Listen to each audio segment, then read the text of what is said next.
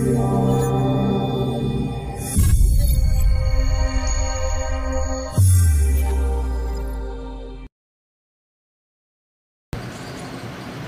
ding, ding. Welcome back. We are back up in this thing for real.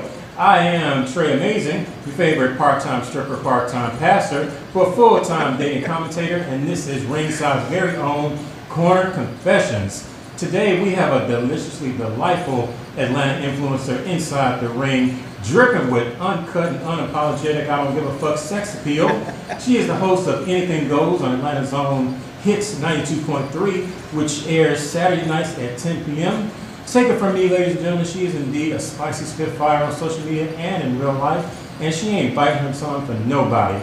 Knuckle up and buckle up because we have none other than the beautiful Alix N Wondrland. Say what's up. What's up, y'all? Oh my God, I love that intro. Hey, I love it. I made it just for you. I feel like I need that everywhere I go. I got, hey, look, I'm, I'm only a text or call away. I'm just saying, I made, I made it just for you. Thank you. So, Alix Wondrland, you know, you came highly, highly recommended by, you know, none other than Head Crack. Thank you. Blessings, Um, blessings. you know, we, he and I had a great interview, and he told me, he was like, yo, you have got to reach out to my friend Alix N Wondrland. Pulled up your social media, and I was impressed because your social media is a lot of things, but boring is not. and so, briefly, you know, before we, you know, kick things off, kind of give like a brief introduction of who you are and what your, you know, station is all about. I know you're the host of uh, Hits 92.3, so tell us a little bit about yourself.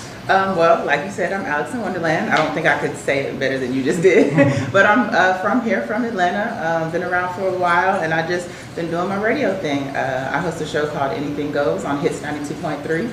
Uh, right now, you can catch me on Saturday nights, but I think I'm going to uh, change time slots soon, so you got to keep up with me, okay? Okay. but um, yeah, no, so I uh, produced the morning show over there also um, called All Hustle No Fear, and um, there's a it's called uh, we're doing a late night uh, after dark morning show coming soon. After Um, dark morning. Yeah, a little special, a little special thing I got going for y'all. Um, but yeah, that's pretty much what I got going on now. You know, dipping in and out. I do a, a thing called Big Girls Move as well. So you know, you can be thick and fine.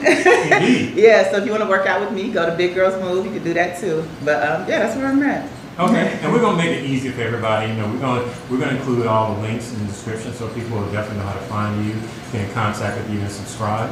Um, you know, just speaking with you on social media, you brought up a very very interesting topic, and it's a topic I felt like it deserves its own interview. So we're gonna break it down like it ain't never been broken down before.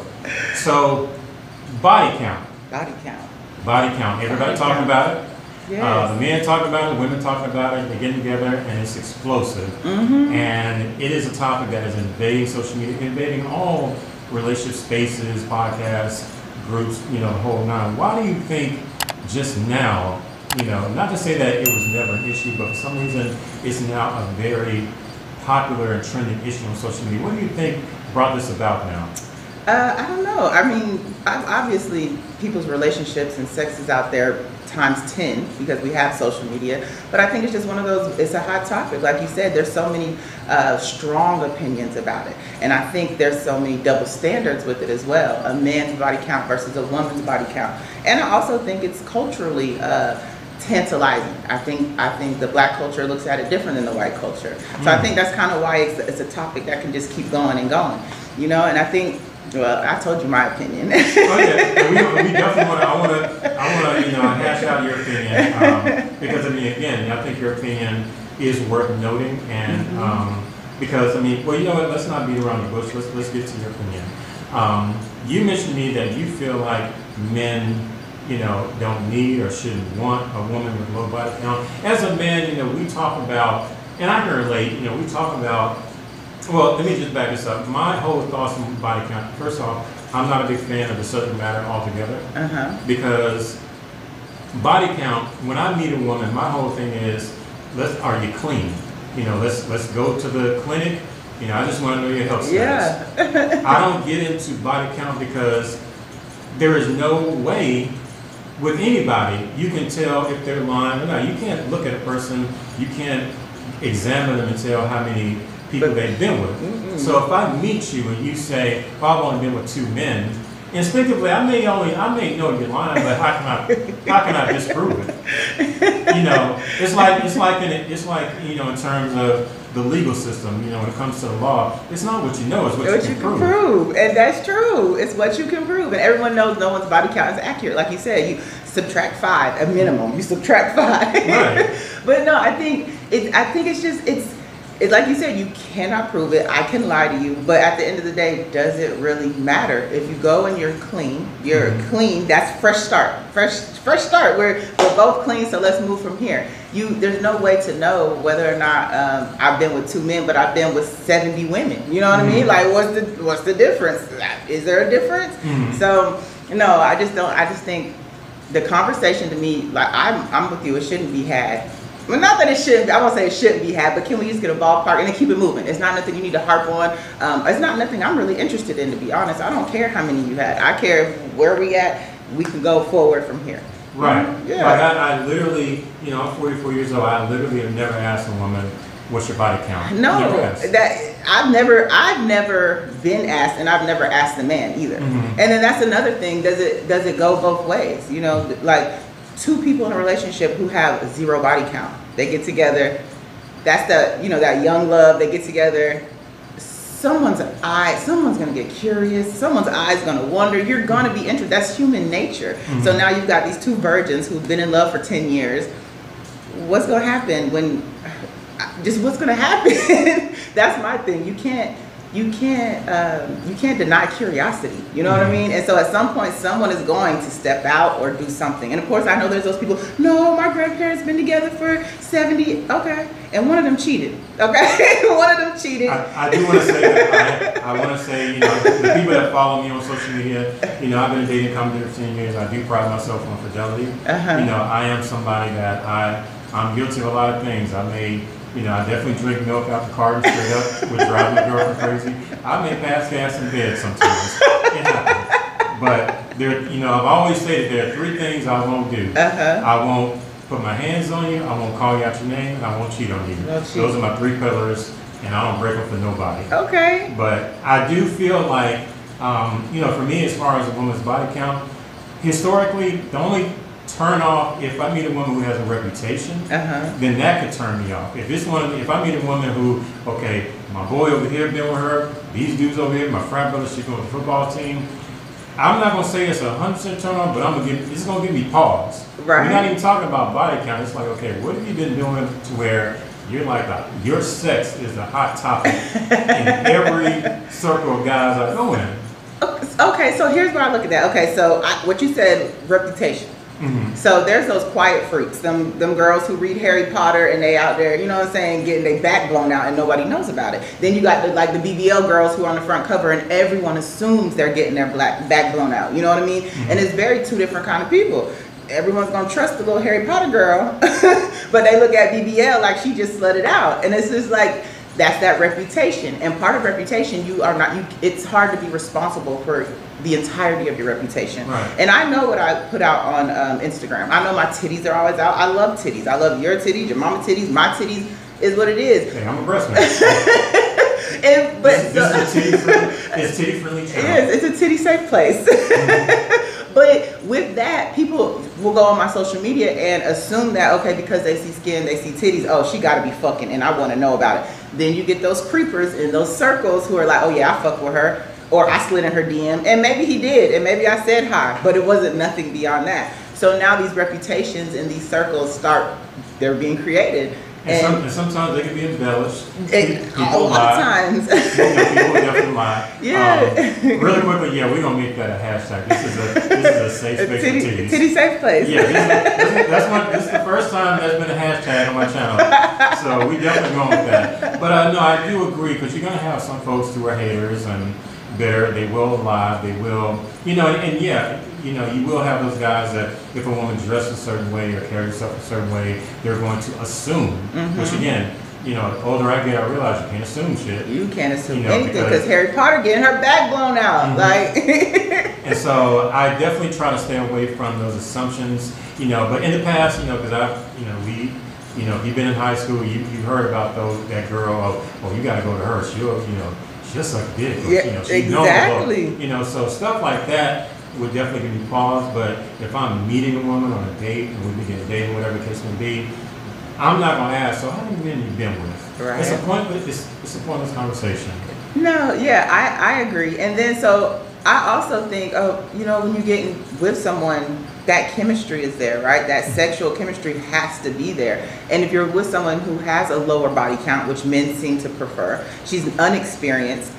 A lot of times I question whether or not men go for that so that they can mold that, so they can be in charge of that, so that becomes theirs. Versus, you know, getting with a woman who who knows herself completely, knows what she likes, she can teach as well. You know, she's more experienced, so her body count is higher. Mhm. But you know, sometimes I question the man's motive when he does want that lower body count. You know?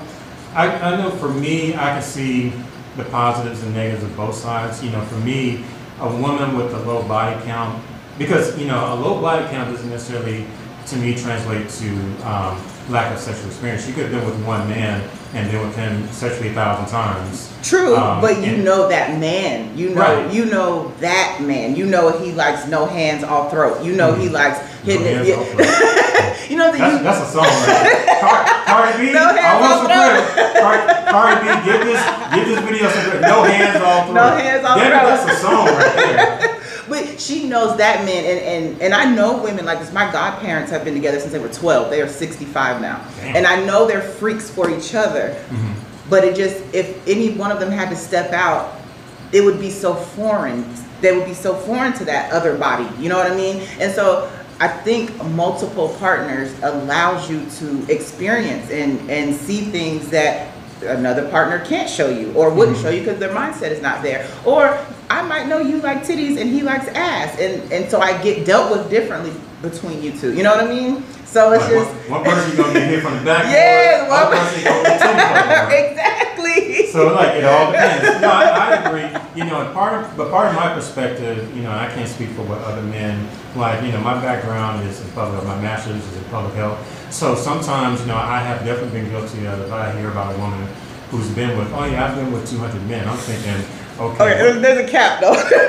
I'm like, okay, what, what's your STD test look like right now? uh, that, that, that frightens me. Yeah. Because again, and you you know, you, you can catch a disease, you can catch HIV from being with one person. Yeah. You know, the, throughout my career in public health, I've come across a lot of people who they caught out HIV from being faithful to their spouse and their spouse cheated. was cheating. And so, but honestly, even from a, a risk standpoint, the more partners you're told, okay, you are increasing the likelihood.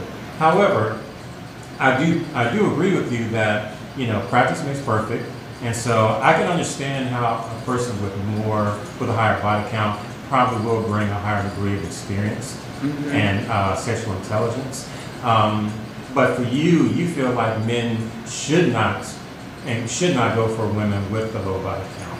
And so what and so other negatives in terms of a man meets a woman who is a virgin. What do you feel like you know he probably should and shouldn't expect out of her in terms of a relationship and even in terms of sex? Oh, I mean, first of all, seeking a virgin is strange. That's some weird shit.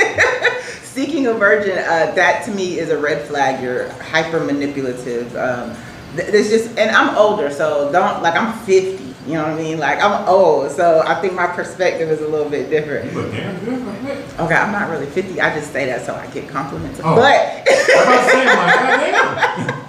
I'm No. like, you been drinking the alkaline water. I am 40 something. So, you know, I'm not far from 50 at all. but I think maybe my perspective is from this side of the coin. You know what I mean? But I just, when I see men like seeking virgins, um, it, it just, to me, that's, or not even virgins, just the inexperienced, the meek girl, the girl who hasn't been out there like that. Um, when, when you seek it with intention, that's just when it becomes fucking weird because why? Why do you want that? Why don't you want someone who is on pace with everyone else? And like I understand not necessarily wanting to have the 200 body count, the sex workers. If you don't, which is kind of a conversation in itself. Would you date a sex worker? But Oh, we, we definitely got to bring you back for part two. Uh, you got to see, think, okay, would you? I'm gonna no, that's a real big question of mine because the sex industry has expanded. But I'm sorry, that's a whole other topic. So. Oh, yeah, I mean, definitely expanded, but no. Yeah, so but no, um, I just think when a man like, and then, and I'm not even just with men. I don't think women should go with guys with low body counts.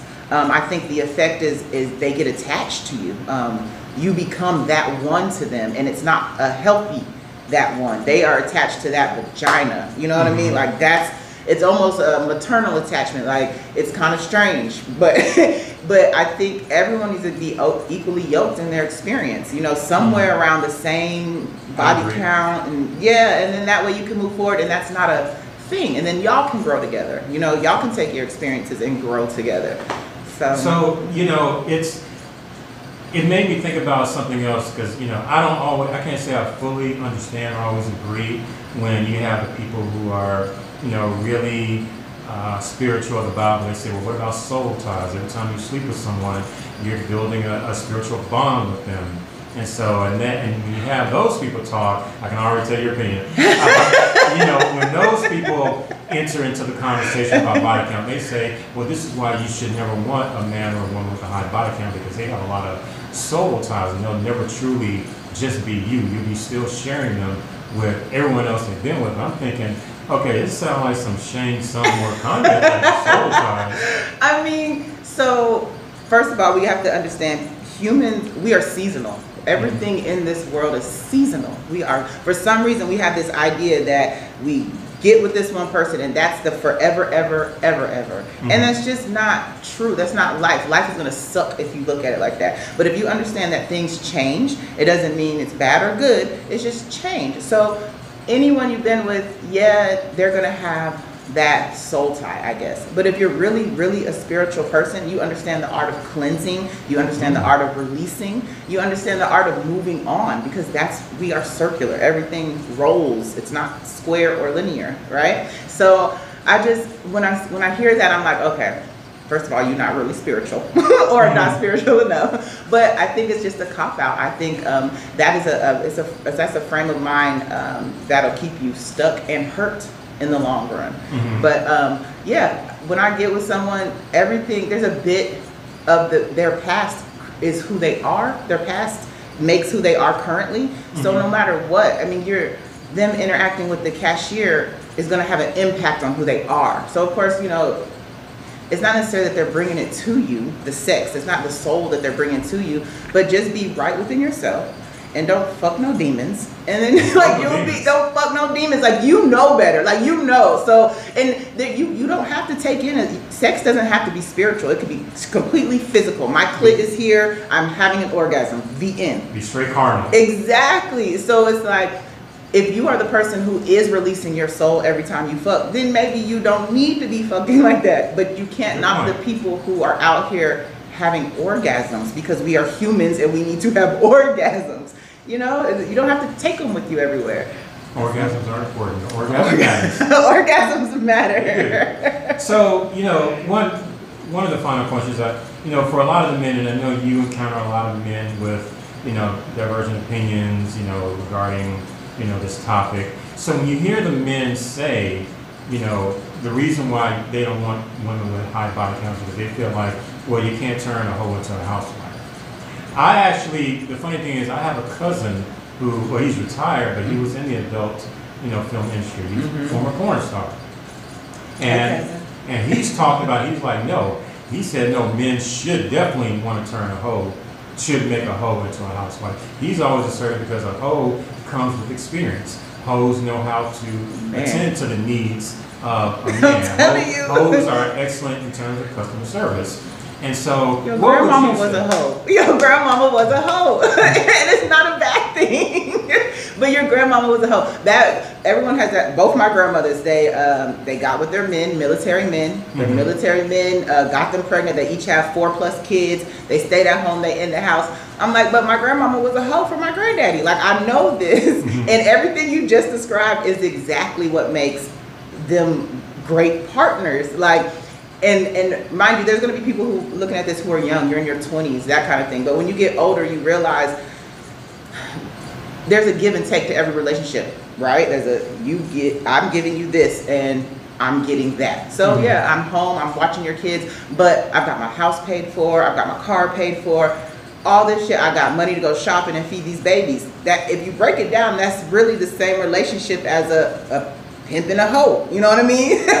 of course, take out the, you know, the frills, but it, it boils down to the same thing. So I always be like, your grandmama was a hoe, like, and, and she she made it. She, she made it. she made it. Cross finish No, yeah, and I'm with your uh, with your cousin on that. Like, especially like I keep I keep going back to age because it, it doesn't matter. But once you've seen things and you've been through things and you've had your failed relationships and your careers and stuff, and you see this chick, hoes don't stay hoes forever, ever. And Mhm. in the fact that you know they're constantly giving their vagina out, it doesn't and it doesn't stay that way forever. But that mindset of a hoe, like take a hoe's mindset. She's a hustler. She gonna get what she need to get. She's going to get shit taken care of by any means necessary. Like these are things that people overlook in hoes, all right?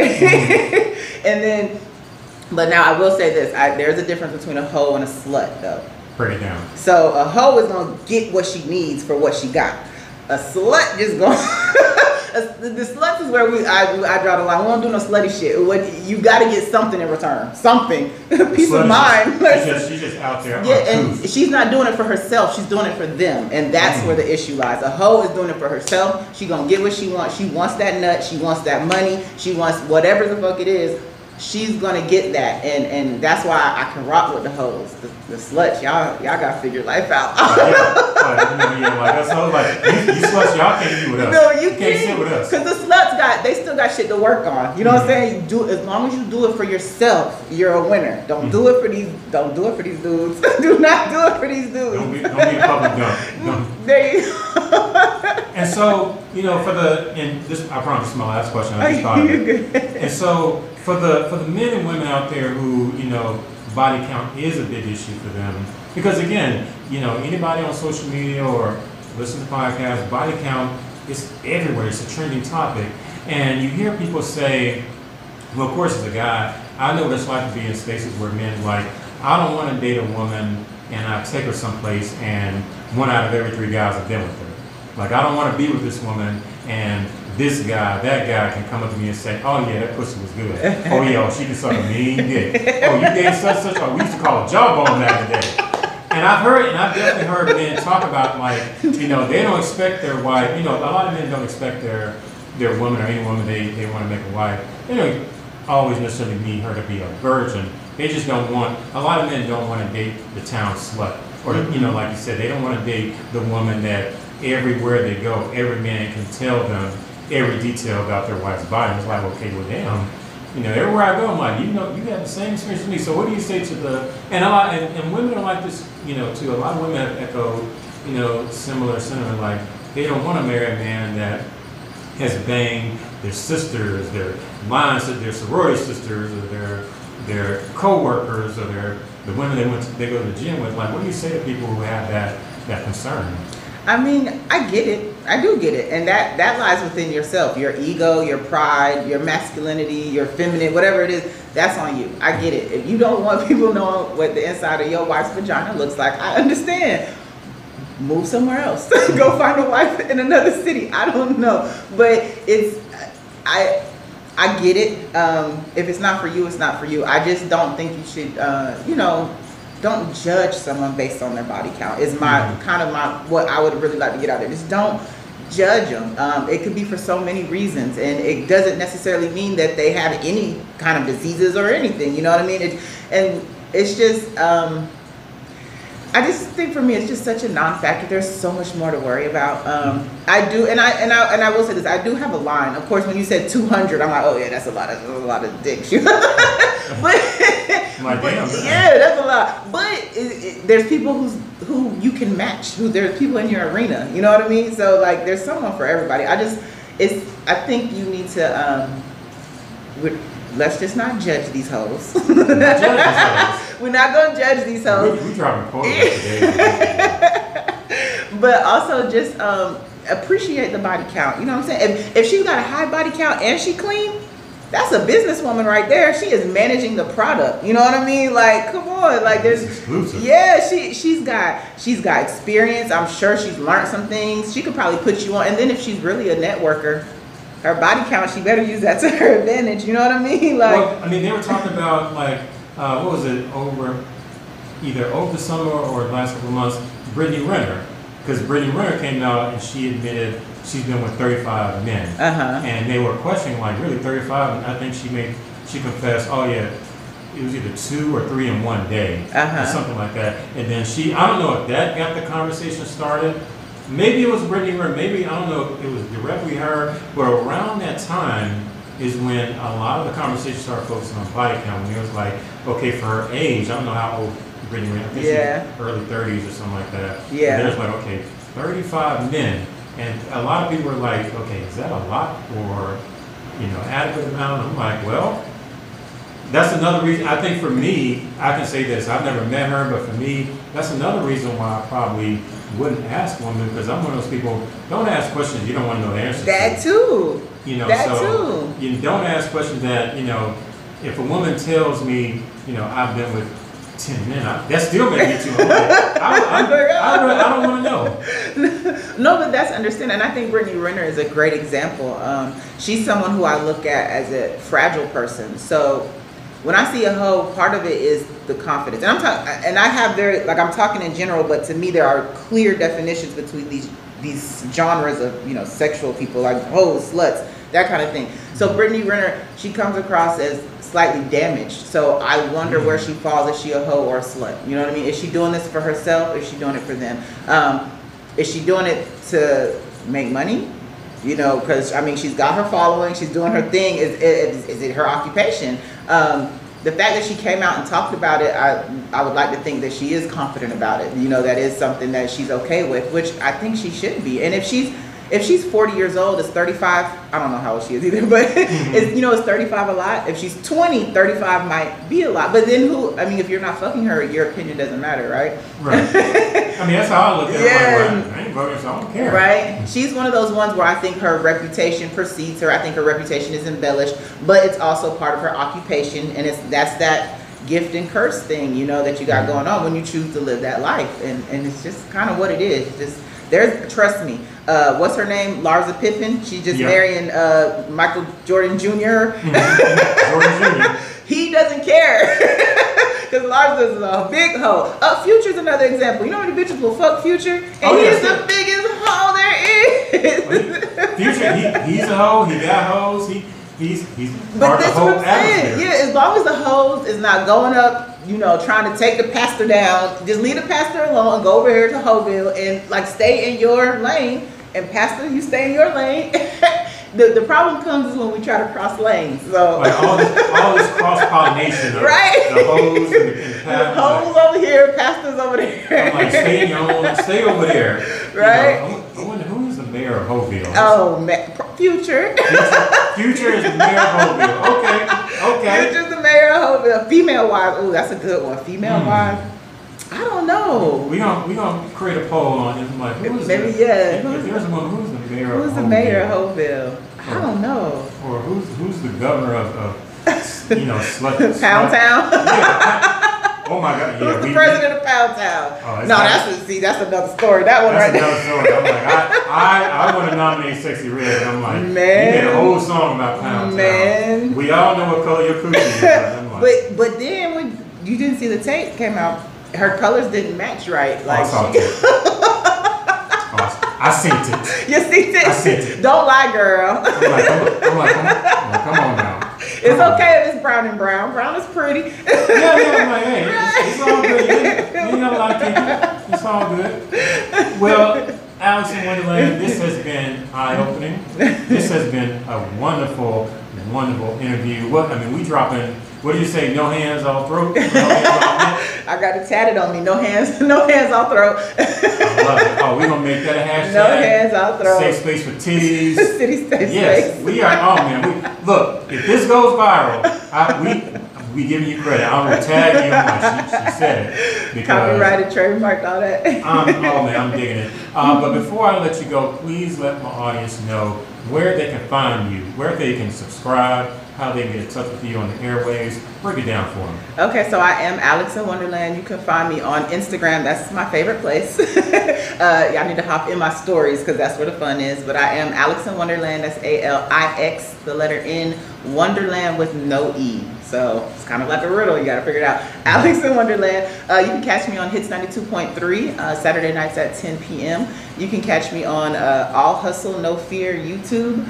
Um, that's where uh, some of my, my post past shows are. And then, uh, like I said earlier, if you want to work out with me, Big Girls Move. Um, it's a subscription based workout program for big girls. We talk shit uh, and get fine. So, uh, yeah, find me there. Well, y'all already fine, but it ain't nothing wrong with getting in shape. Right. I'm. Okay, I'm digging. And everybody, like I said, we're gonna make it real easy for you. We're gonna include all our information in the description, so you ain't gotta remember it, or whatever, just click on it. It'll take you right there. Um, big shout out to everyone in the Ringside Facebook group. You know, go ahead, if you're on Facebook, just go to the search bar, type in Ringside LLC, request to join the private Facebook group, and either myself or one of the admins will admit you.